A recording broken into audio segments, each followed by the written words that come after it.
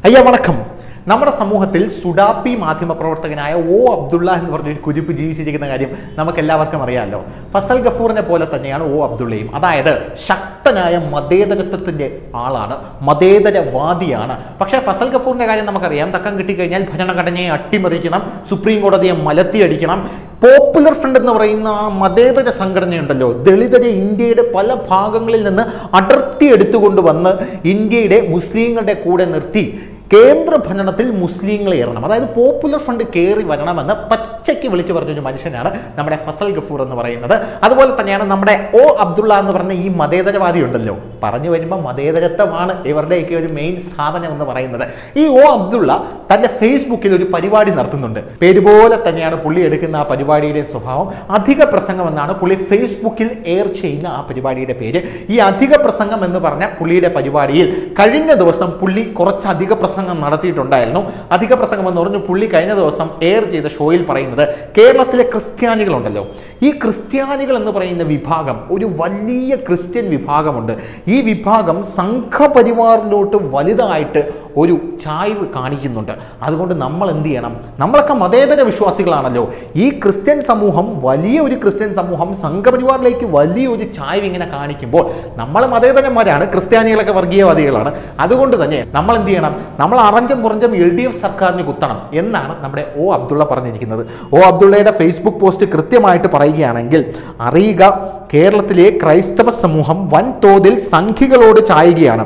ഇടതുപക്ഷത്തെ ശക്തിപ്പെടുത്തുകയല്ലാതെ മതേതര വിശ്വാസികളുടെ മുമ്പിൽ മാർഗങ്ങളില്ല എന്നാണ് ഒ അബ്ദുള്ള പറയുന്നത്. അതായത് നമ്മുടെ ജനാധിപത്യ രാഷ്ട്രത്തിൽ എനിക്ക് എസ് ഡി പി ഐയിൽ വിശ്വസിക്കാനുള്ള സ്വാതന്ത്ര്യമുണ്ട് അത് നിരോധിച്ചില്ലെങ്കിൽ. ബി ജെ പിയിൽ വിശ്വസിക്കാനുള്ള സ്വാതന്ത്ര്യമുണ്ട് കമ്മ്യൂണിസ്റ്റ് പാർട്ടിയിൽ വിശ്വസിക്കാനുള്ള സ്വാതന്ത്ര്യമുണ്ട് കോൺഗ്രസ് പാർട്ടിയിൽ വിശ്വസിക്കാനുള്ള സ്വാതന്ത്ര്യമുണ്ട്. എല്ലാത്തിലും വിശ്വസിക്കാനുള്ള സ്വാതന്ത്ര്യവും എനിക്കുണ്ട്. അതുപോലെ തന്നെ ഓരോ പൗരനും അതുണ്ട്. ഞാൻ അങ്ങനെ ഒരു പാർട്ടിയിൽ വിശ്വസിക്കുമ്പോൾ എന്റെ ജാതിയും മതവും ചെകഞ്ഞ് ഞാൻ ഇന്നലെ വേറൊരു പാർട്ടിയിൽ വിശ്വസിച്ചിരുന്നു. പക്ഷേ ഇന്ന് വേറൊരു പാർട്ടിയിൽ പോകുന്നത് കൊണ്ട് ഞാനൊരു വർഗീയവാദിയാണ് എന്ന് വരുത്തി തീർക്കുന്ന ഒരു നൈസ് ആയിട്ടുള്ള ഒരു കാർഡാണ് നമ്മുടെ അബ്ദുള്ള എണ്ണൻ ഇവിടെ ഇറക്കുന്നത്. എന്തായിരുന്നാലും വളരെയധികം സന്തോഷമുള്ള ഒരു കാര്യം എന്ന് പറഞ്ഞാൽ അതിന്റെ താഴെ പൊങ്കാലയാണ് അബ്ദുള്ള എണ്ണനെ കിട്ടിക്കൊണ്ടിരിക്കുന്നത്. അതൊക്കെ ഞങ്ങളുടെ സ്വാതന്ത്ര്യം. ഞങ്ങൾ പലയിടത്ത് പോകും. താൻ ആരുവാ ചോദിക്കുക? എന്നാണ് പല ക്രിസ്ത്യൻ വിഭാഗത്തിൽപ്പെട്ട യുവാക്കളും വന്ന് കമന്റ് ചെയ്തിരിക്കുന്നത്. മാന്യമായിട്ടുള്ള കമന്റ് മാത്രമേ ഞങ്ങൾ പ്രോത്സാഹിപ്പിക്കാറുള്ളൂ. മോശമായിട്ട് ഇടുന്നവരൊന്നും ഞങ്ങൾ പ്രോത്സാഹിപ്പിക്കില്ല. മൈൻഡ് ഇറ്റ് കേരളത്തിൽ ക്രിസ്തീയ വിഭാഗം വലിയ രീതിയിൽ സംഘപരിവാറിനോടൊരു ചായ്വ് കാണിക്കുന്നുണ്ട് എന്നുള്ളത് വസ്തുത തന്നെയാണ്. ഇത് കേട്ടപ്പോൾ മുതൽ എന്താണെന്ന് അറിഞ്ഞൂടാ ഓ അബ്ദുള്ളയ്ക്ക് വല്ലാത്തൊരു വിമ്മിഷ്ടമാണ്. ആ വിമ്മിഷ്ടമാണ് അബ്ദുള്ള നമ്മുടെ അധിക പ്രസംഗത്തിലൂടെ കാണിച്ചിരിക്കുന്നത് എന്ന് ഏത് സാധാരണക്കാരനും കണ്ടാൽ മനസ്സിലാക്കാവുന്നതേ ഉള്ളൂ. എന്തായാലും ക്രിസ്ത്യ വിഭാഗം എന്തുകൊണ്ടാണ് സംഘപരിവാറിലേക്ക് അടുക്കാൻ കാരണം എന്നുള്ളതിന്റെ ഒന്നാമത്തെ കാര്യം കാതലായിട്ടുള്ള കാര്യം എന്ന് പറഞ്ഞാൽ അബ്ദുള്ള ഇപ്പോൾ സോഷ്യൽ മീഡിയയിൽ കിടന്നിങ്ങനെ പൂന്ത് വിളയാടിയില്ലേ? ക്രിസ്ത്യാനികൾ മുഴുവൻ സംഘപരിവാറിലേക്ക് പോവുകയാണ്. അതുകൊണ്ട് ക്രിസ്ത്യാനികൾ മുഴുവൻ വർഗീയവാദികളാണ്. ഈ വർഗീയവാദത്തെ ചെറുക്കണം നമ്മൾ ഇടതുപക്ഷത്തിന് വോട്ട് ചെയ്യണം. ആ ആറ്റിറ്റ്യൂഡാണ് ഒന്നാമത്തെ കാര്യം. സോഷ്യൽ മീഡിയയിലെ ആറ്റിറ്റ്യൂഡ് ഒരുപാട് പള്ളിയിൽ അച്ഛന്മാരെയും ഒരുപാട് പാസ്റ്റർമാരെയും ഒരുപാട് ക്രിസ്തീയ വിശ്വാസങ്ങളെയും സോഷ്യൽ മീഡിയ അറഞ്ചം പുറഞ്ചം ട്രോളുന്നുണ്ട് എന്നുള്ളത് ഒരു വസ്തുത തന്നെയാണ്. ഈ സോഷ്യൽ മീഡിയ അറഞ്ചം പുറഞ്ചം ഈ സംഭവങ്ങളെ എല്ലാം ട്രോളുമ്പോൾ വലിയ രീതിയിലുള്ള ഒരു മാസ് അറ്റാക്കിംഗ് ക്രിസ്തീയ വിഭാഗത്തിൽ നിന്നും ഉണ്ടാകാറില്ല. അവരതൊക്കെ സഹിഷ്ണുതയോടുകൂടി ഉൾക്കൊള്ളും. ഇനി അത് സഹിഷ്ണുതയോടുകൂടി ഉൾക്കൊള്ളാൻ കഴിയാത്തവനാണെങ്കിൽ കൊണ്ടുപോയി ഒരു കേസ് കൊടുക്കും. നിയമപരമായിട്ട് എന്റെ മതവിശ്വാസത്തെ അവൻ വ്രണപ്പെടുത്തി എന്ന് കൊണ്ടുപോയി ഒരു കേസ് കൊടുക്കും. അല്ലാതെ അവർ വേറൊരു കാര്യങ്ങളും ചെയ്യാറില്ല എന്നുള്ളത് നമുക്ക് എല്ലാവർക്കും അറിയാം. സ്വാഭാവികമായും ക്രിസ്തീയ വിശ്വാസങ്ങളെ ട്രോളുന്നവരുടെ കൂട്ടത്തിൽ പല മറ്റു വിശ്വാസികളുമുണ്ട് എന്ന് നമുക്ക് എല്ലാവർക്കും അറിയാം. അതിൽ ഹൈന്ദവ വിശ്വാസികളുണ്ട് അതിൽ ക്രിസ്തീയ വിശ്വാസികളുണ്ട് അതിൽ ഇസ്ലാമിക വിശ്വാസികളുണ്ട്. പക്ഷേ ഈ ഇസ്ലാമിക വിശ്വാസികളുടെ മതപരമായിട്ടുള്ള എന്തെങ്കിലും കാര്യങ്ങളിൽ ഒരു ട്രോൾ ഇറക്കുകയോ ഒരു സംശയം പ്രകടിപ്പിക്കുകയോ ആരെങ്കിലും ചെയ്തു കഴിഞ്ഞാൽ ഒരു മാസ് അറ്റാക്കിംഗ് ആണ് അവിടെ നടക്കുന്നത്. ഒരു വെട്ടിക്കിളി കൂട്ടം വന്ന് മൊത്തത്തിൽ ആ അക്കൗണ്ട് നച്ചിൽ വിച്ചിൽ കടിച്ചു വിറ്റിട്ട് അങ്ങ് പോകും. അങ്ങനത്തെ ഒരു സാഹചര്യമാണ് നമ്മളെല്ലാം കാണാൻ സാധിക്കുന്നത്. ഇതൊക്കെ പല ആൾക്കാരും കണ്ടുകൊണ്ടിരിക്കുകയാണ്. നമ്മൾ ആലോചിക്കണം. അടുത്തൊരു പ്രധാനപ്പെട്ട കാര്യം എന്ന് പറഞ്ഞാൽ നമ്മുടെ സമകാലീന കാര്യങ്ങൾ നമ്മൾ എടുത്തു നോക്കണം.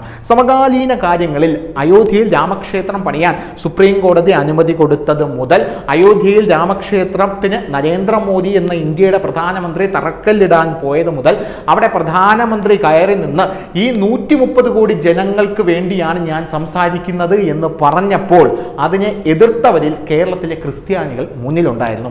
ഇത് ഇസ്ലാമിന്റെ വിശ്വാസമാണ് എന്ന് പറഞ്ഞവരാണ്. കേരളത്തിലുള്ള ബഹുഭൂരിപക്ഷം ക്രിസ്ത്യാനികളും ഈ നൂറ്റി മുപ്പത് കോടിയിൽ ഞങ്ങളില്ല എന്നാണ് അന്ന് ക്രിസ്ത്യാനികൾ പറഞ്ഞത്. പക്ഷേ അതിനുശേഷം ഹാഗിയ സോഫിയ എന്ന് പറഞ്ഞ തുർക്കിയിൽ ഒരു പള്ളി ഉണ്ടായിരുന്നു. ഈ പള്ളി ക്രിസ്ത്യൻ പള്ളിയായിരുന്നു. ഈ പള്ളി യുനെസ്കോ ഏറ്റെടുത്ത് മ്യൂസിയമാക്കി മാറ്റി. ആ പള്ളിയാണ് തുർക്കിയിലെ വർഗീയവാദിയായ മതം തലയ്ക്ക് പിടിച്ച എർദോഗൻ എന്ന് പറയുന്ന ഭരണാധികാരി പിടിച്ചടക്കി ഇപ്പോ ഇസ്ലാമിന്റെ പള്ളിയാക്കി മാറ്റിയിരിക്കുന്നത്. ഈ സംഭവം വന്നപ്പോൾ അതായത് ക്രിസ്ത്യാനികളുടെ പള്ളി ഇസ്ലാമിന്റെ പള്ളിയാക്കി കൺവേർട്ട് ചെയ്തപ്പോൾ നമ്മുടെ പാണക്കാടുള്ള സയ്യിദ് സാദിഖലി ഷിഹാബ് തങ്ങൾ ചന്ദ്രികയിൽ എഴുതിയത്. ഇത് മതേതരത്വത്തിലേക്കുള്ള തിരിഞ്ഞു നടത്തമാണ് സഹോദരങ്ങളെ തിരിഞ്ഞു നടത്തമാണ് എന്നാണ്. ഇതൊക്കെ കണ്ട് അയോധ്യയിലെ ലവന്മാർക്ക് വേണ്ടി സപ്പോർട്ട് ചെയ്ത ക്രിസ്ത്യാനി വായും വളർന്നിരുന്നതല്ലാതെ വേറൊന്നും ചെയ്യാൻ സാധിച്ചില്ല എന്നുള്ളതാണ് ഒരു വസ്തുത. അതും അവരുടെ മനസ്സിൽ വലിയ രീതിയിൽ ഒരു മുറിവായി നിൽക്കുന്നുണ്ട് എന്നുള്ളത് രണ്ടാമത്തെ വസ്തുത. ഇനി മൂന്നാമത്തെ വസ്തുത എന്ന് പറയുന്നത് ഫ്രാൻസിലടക്കം സാമുവൽ പാറ്റി എന്ന് പറയുന്ന ഒരു അധ്യാപകനെ പ്രവാചകന്റെ കാരിക്കേച്ചർ പ്രദർശിപ്പിച്ചു എന്ന് പറഞ്ഞ് ഇസ്ലാമിക ഭീകരവാദികൾ തലയേറത്ത് നടു റോഡിൽ വെച്ച് കൊന്ന സംഭവം നമുക്ക് എല്ലാവർക്കും ഒരു സംഭവമാണ്. ഫ്രാൻസ് ഒരു ക്രിസ്ത്യൻ ഭൂരിപക്ഷ രാജ്യമാണ്. യൂറോപ്പിലുള്ള മുസ്ലിങ്ങളുടെ എട്ട് ശതമാനവും ഫ്രാൻസിലാണ് താമസിക്കുന്നത്. ഇപ്പൊ നമ്മൾ ജോ ബൈഡനെ എടുത്ത് തലയിൽ വെച്ചിരിക്കുന്നില്ലേ? American president. ഈ ജോ ബൈഡനെ പോലെയായിരുന്നു നമുക്ക് ഇമാനുവൽ മാക്രോൺ. പക്ഷേ സാമുവൽ പാറ്റി എന്ന അധ്യാപകൻ ആവിഷ്കാര സ്വാതന്ത്ര്യം ഉപയോഗിച്ച് പ്രവാചകന്റെ കാരിക്കേച്ചർ അവിടെ പ്രദർശിപ്പിച്ചപ്പോൾ അദ്ദേഹത്തിന്റെ തല വെട്ടിയെടുത്തത് കൊണ്ട് ഇമാനുവൽ മാക്രോൺ അവിടെ കടുത്ത നടപടികളാണ് അഭയാർത്ഥികൾക്കെതിരെ കൊണ്ടുവന്നത്. അഭയാർത്ഥികളുടെ പല ക്യാമ്പുകളും ഇപ്പോൾ തീയിടുന്ന ഒരു സാഹചര്യം വരെ അവിടെ ഉണ്ടായിട്ടുണ്ട്. ഈ സാമുവൽ പാറ്റി എന്ന് പറഞ്ഞ അധ്യാപകന്റെ തല അറുത്തതിനെ ഒരു നേതാവ് ഞങ്ങളുടെ ഇസ്ലാം ഇങ്ങനെയല്ല ചെയ്യുന്നത് ഞങ്ങളുടെ ഇസ്ലാം ഇതല്ല എന്ന് പറഞ്ഞ് അപലപിച്ച് കണ്ടില്ല. എത്രയോ സുഡാപ്പി ഓൺലൈൻ മാധ്യമങ്ങളുണ്ട് എത്രയോ സുഡാപ്പി ചാനലുകളുണ്ട്. അവരൊന്നും തന്നെ സാമുവൽ പാറ്റി എന്ന് പറയുന്ന അധ്യാപകനെ അവിടെ കഴുത്തെടുത്ത് കൊന്നതിനെ അപലപിച്ചിട്ടുമില്ല. പക്ഷേ അവർ വാർത്ത കൊടുത്തിട്ടുണ്ടായിരുന്നു. പിന്നെ സോഷ്യൽ മീഡിയയിൽ ആ സമയത്ത് കണ്ട ഒരു ട്രെൻഡ് എന്ന് പറഞ്ഞാൽ സാമുവൽ പാറ്റി എന്ന അധ്യാപകന്റെ തലയെടുത്തത് തെറ്റാണ്. പക്ഷേ ഇതുപോലെ തന്നെയാണ് ജോസഫ് മാഷിന്റെ കൈ വെട്ടിയത് തെറ്റാണ്. പക്ഷേ ഇങ്ങനെയുള്ള കുറേ പക്ഷേയാണ് ഇവരുടെ കയ്യിലുള്ളത്. അതുകൊണ്ട് തന്നെ ഈ പക്ഷേ ഓളികളെ കൊണ്ടാണ് സത്യം പറഞ്ഞാൽ ക്രിസ്ത്യാനികളൊക്കെ ഒരു വിഭാഗവും വലിയ രീതിയിൽ സംഘപരിവാറിലോട്ട് ഒലിച്ചു പോകാൻ കാരണം എന്നുള്ളത് മറ്റൊരു വസ്തുതയാണ്. അവർക്ക് എവിടെയാണോ കംഫർട്ടബിൾ അവരവിടെ പോയി നിൽക്കും. അതല്ലേ ജനാധിപത്യത്തിന്റെ സൗന്ദര്യം എന്ന് പറയുന്നത് അബ്ദുള്ളിക്ക അബ്ദുള്ളിക്ക കേട്ടിട്ടുണ്ടോ ഈ നരേന്ദ്രമോദി എന്ന് പറയുന്ന ആളെ കുറിച്ച് ശരി അതൊക്കെ അവിടെ നിൽക്കട്ടെ എന്തായിരുന്നാലും. ഇനി അടുത്തൊരു സംഭവം എന്ന് പറഞ്ഞാൽ അവരുടെ വലിയ രീതിയിലുള്ള പക്ഷപാതം നേരിടുന്നുണ്ട് എന്നുള്ളത് ഒരു വസ്തുതയാണ്. പ്രത്യേകിച്ച് ന്യൂനപക്ഷ സംവരണങ്ങളൊക്കെ വരുമ്പോൾ അതിൽ അവർ വലിയ രീതിയിലുള്ള പക്ഷപാതം നേരിടുന്നുണ്ട്. പ്രത്യേകിച്ച് ക്രിസ്ത്യൻ ജനറൽ കാറ്റഗറികളാണ് അതിനകത്ത് വലിയ രീതിയിലുള്ള പക്ഷപാതം നേരിടുന്നത് എന്ന് നമുക്ക് എല്ലാവർക്കും അറിയാം. പലരുടെയും സംഘടിത വോട്ട് ബാങ്ക് രാഷ്ട്രീയത്തിന്റെയും പണത്തിന്റെയും വലയിൽ കുടുങ്ങി കിടക്കുകയാണ് നമ്മുടെ രാഷ്ട്രീയം. അതായത് ഇടത് വലത് മുന്നണികൾ അങ്ങനെ കിടക്കുകയാണ്. ഇപ്പം തന്നെ നമുക്കറിയാം ജോസിനെയും ജോസ് കെ മാണിയെയും പിരിച്ച് രണ്ടാക്കി രണ്ടിനെയും നച്ചിൽ വിച്ചിലാക്കി ഒരു വോട്ടും കിട്ടാത്ത രീതിയിൽ അങ്ങോട്ടും ഇങ്ങോട്ടും കൊണ്ടുവച്ചിട്ടുണ്ട്. ക്രിസ്ത്യൻ വോട്ടുകൾ വിഘടിച്ചു പോയി പലയിടത്തും ഇതാണ് സ്ഥിതി എന്ന് പറയുന്നത്. അടുത്തതായി പറയാനുള്ളത് ന്യൂനപക്ഷ അവകാശങ്ങൾ വിതരണം ചെയ്യുമ്പോൾ ഏറ്റവും അധികം പാർശ്വവൽക്കരിക്കപ്പെട്ട സമൂഹം ക്രൈസ്തവരാണ്. പ്രത്യേകിച്ച് ക്രൈസ്തവർക്കുള്ളിലെ ജനറൽ കാറ്റഗറികളാണ് ഏറ്റവും അധികം പാർശ്വവൽക്കരിക്കപ്പെടുന്നത് എന്നുള്ളൊരു സംഭവം ഇവിടെ നിലനിൽക്കുന്നുണ്ട്. ഇനി അടുത്ത സംഭവം എൺപത് മുതൽ ഇരുപത് ശതമാനം വരെ ന്യൂനപക്ഷ സംവരണം സ്കോളർഷിപ്പിൽ എന്നിവ അവർ പാർശ്വവൽക്കരിക്കപ്പെടുന്നുണ്ട് എന്നുള്ള വിഷയമാണ്. അടുത്ത സംഭവം എക്കണോമിക്കലി വീക്കർ സെക്ഷനായിട്ട് നരേന്ദ്രമോദി പ്രധാനമന്ത്രി പത്ത് ശതമാനം സംവരണം കൊണ്ടുവന്നു. അത് കണ്ടിട്ട് ഇവിടെയുള്ള ജനറൽ കാറ്റഗറികൾ അപ്പോൾ തുള്ളിച്ചാടിയിട്ടുണ്ടായിരുന്നു. ക്രിസ്ത്യാനികളും ശരി തന്നെ ഹൈന്ദവരും ശരി തന്നെ പലരും ശരി തന്നെ അതിനെതിരെ ഉറഞ്ഞു തുള്ളിയത് ഇവിടുത്തെ ഒരു പ്രത്യേക സുഡാപി ചാനലായിരുന്നു അത് നമുക്ക് എല്ലാവർക്കും അറിയാം. എന്തായിരുന്നാലും ഈ വിഷയത്തിൽ ക്രിസ്ത്യാനികളുടെ ജനറൽ കാറ്റഗറികളെ കണ്ടുകൊണ്ട് നമ്മുടെ പിണറായി സർക്കാർ അത് അങ്ങ് അംഗീകരിച്ച് കൊടുക്കുകയാണ് ചെയ്തത്. അടുത്തൊരു പ്രധാനപ്പെട്ട കാര്യം ലവ് ജിഹാദ് എന്ന് പറയുന്ന സംഭവമാണ്. ഈ ലവ് ജിഹാദ് എന്ന് പറയുന്ന സംഭവത്തിൽ സഭകൾ പലപ്പോഴായിട്ടും പല വാദങ്ങളും ഉന്നയിച്ചു. ലവ് ജിഹാദ് എന്ന് പറയുന്ന ഒരു സാധനമുണ്ട്.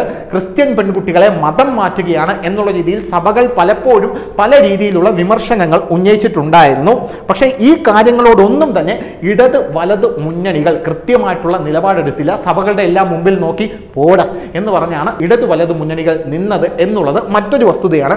അതുകൊണ്ട് ക്രിസ്ത്യൻസിന് അതും ഒരു കണ്ണിലെ കരടായി പോയി എന്നുള്ളതാണ് മറ്റൊരു വസ്തുത. ഇനി അടുത്തൊരു കാര്യം എന്ന് പറഞ്ഞാൽ വുമൺ മിസ്സിംഗ് കേസുകളോടും അതായത് നമ്മുടെ ക്രിസ്ത്യൻ സമൂഹത്തിൽ നിന്ന് ധാരാളം കുട്ടികളെ കാണാതാവുന്നുണ്ട്. അതിനോടും കേരളത്തിലെ തീവ്രവാദ കേസുകളോടും സർക്കാരിനുള്ള ഒരു പ്രത്യേക ഒരു അയവുണ്ടല്ലോ. ഇതും ക്രിസ്ത്യൻസിനിടയിൽ വലിയ രീതിയിലുള്ള വിമർശനം ഉണ്ടാകുന്നുണ്ട് ഐക്യരാഷ്ട്ര സഭ പോലും പറഞ്ഞതാണ് കേരളത്തിൽ നിന്നും വലിയ രീതിയിൽ I S I S recruitment നടക്കുന്നുണ്ട് നടക്കുന്നത് എന്നുള്ള കാര്യത്തിൽ ഇതിലും കേരള സർക്കാർ വളരെയധികം അയവിങ്ങനെ കാണിച്ചുകൊണ്ടിരിക്കുകയാണ്. മറ്റൊരു പ്രധാനപ്പെട്ട കാര്യം കാർഷിക പ്രശ്നങ്ങളോടുള്ള സമീപനവും നിയമങ്ങൾ നടപ്പിലാക്കുമ്പോൾ കാണിക്കുന്ന മതപരമായ വിവേചനവുമാണ്. ഇങ്ങനെ പോവുകയാണ് ക്രിസ്ത്യൻ സഭകൾക്കും ക്രിസ്ത്യൻ വിഭാഗങ്ങൾക്കും ഇടയിലുള്ള എതിർപ്പുകൾ എന്ന് പറയുന്നത്. വേറൊരു പ്രധാനപ്പെട്ട കാര്യം ഇതിനകത്ത് എടുത്തു പറയേണ്ടത് C A A N R C ആണ്. കേന്ദ്ര സർക്കാർ കൊണ്ടുവന്ന C A A N R C. രാജ്യത്തെ ബഹുഭൂരിപക്ഷം ജനങ്ങൾക്കും യാതൊരുവിധ പ്രശ്നവുമില്ല C A N R C കൊണ്ടുവന്നതിൽ. കേരളത്തിലാണ് ഏറ്റവും കൂടുതൽ പ്രതിഷേധം C A N R C കൊണ്ടുവന്നപ്പോൾ നടന്നത് എന്നുള്ളതാണ് നമുക്ക് എല്ലാവർക്കും അറിയാം. കേന്ദ്രം C A N R C അതായത് പൗരത്വ ഭേദഗതി നിയമം കൊണ്ടുവന്നത് എന്തിനാണെന്ന് ചുരുക്കത്തിൽ പറഞ്ഞുതരാം.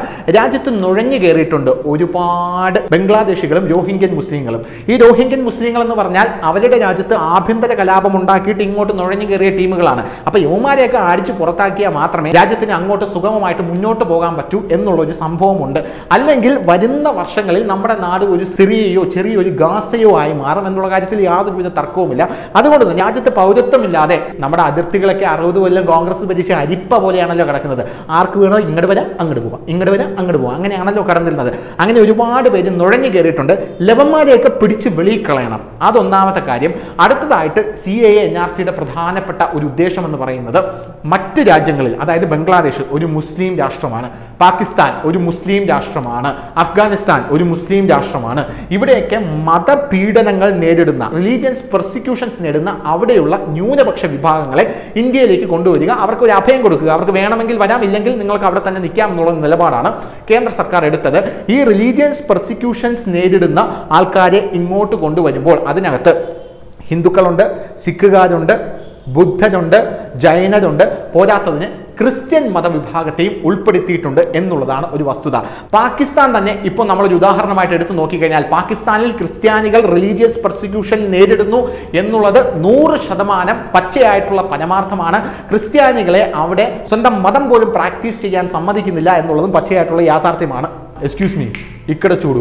രണ്ടായിരത്തി അഞ്ചിൽ പാകിസ്ഥാനിൽ ചർച്ചുകളും ക്രിസ്ത്യൻ സ്കൂളുകളും ഫൈസലാബാദിൽ ആക്രമിച്ചിരുന്നു. രണ്ടായിരത്തി ഒൻപതിൽ നാൽപ്പത് വീടുകൾക്കാണ് ഇസ്ലാമിക തീവ്രവാദികൾ തീയിട്ടത് ഗോജ്രയിൽ ഒരു ചർച്ചും കത്തിച്ചിരുന്നു. എട്ടുപേർ അവിടെയും മരിച്ചു. രണ്ടായിരത്തി പതിമൂന്ന് സെപ്റ്റംബറിൽ പാകിസ്ഥാനിൽ സൂയിസൈഡ് ബോംബ് അറ്റാക്ക് ഉണ്ടാക്കി. അതും ഇരട്ട സൂയിസൈഡ് ബോംബ് അറ്റാക്കാണ് ഉണ്ടായത്. ആൾസൈൻസ് ചർച്ചിൽ പെഷാവാറിലാണ് ഉണ്ടായത്. പാകിസ്ഥാനിൽ നൂറ്റി ഇരുപത്തിയേഴ് പേരാണ് അന്ന് മരിച്ചത്. ഇരുന്നൂറ്റി അൻപത് പേർക്കാണ് അന്ന് അവിടെ പരിക്കേറ്റത്.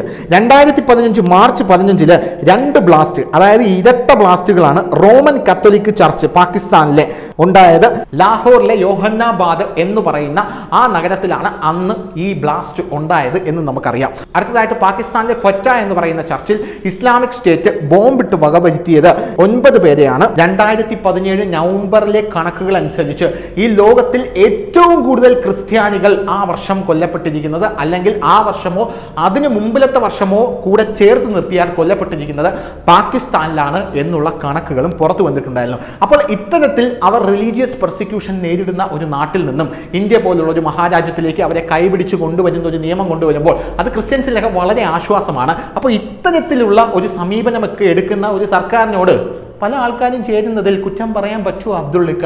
വീണ്ടും ചോദിക്കുകയാണ് അബ്ദുള്ളിക്കയ്ക്ക് അറിയുമോ ഈ നരേന്ദ്രമോദി എന്ന് പറയുന്ന ആളെ? അപ്പോൾ ശരി.